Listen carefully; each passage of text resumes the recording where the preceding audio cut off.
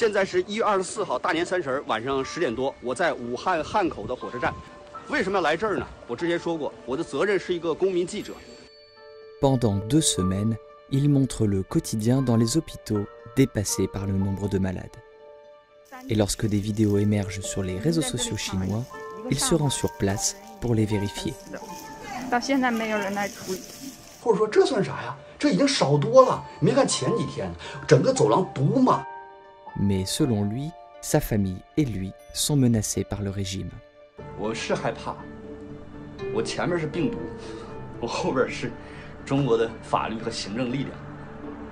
但是我会振作起来，只要我活在这个城市，我会继续做我的报道。我只说我看见的，我听见的。妈逼，我连死都不怕，我怕你共产党吗？